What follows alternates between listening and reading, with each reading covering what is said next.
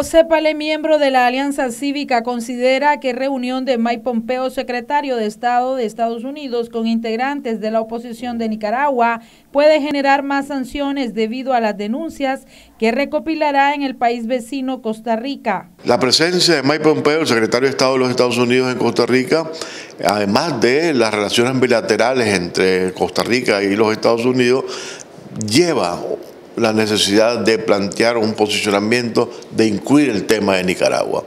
Y el tema de Nicaragua estará siendo tocado tanto con el presidente costarricense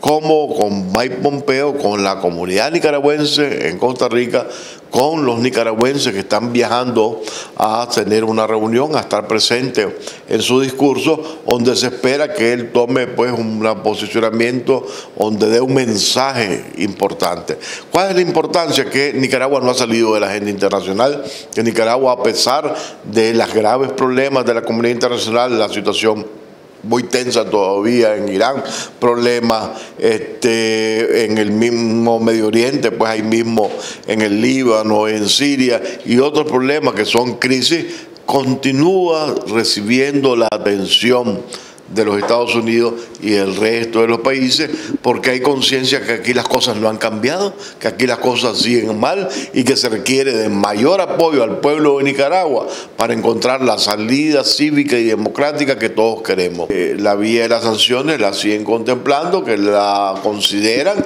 Este, hay opiniones incluso de senadores muy importantes de ambos partidos que apuestan por esta línea y que están presionando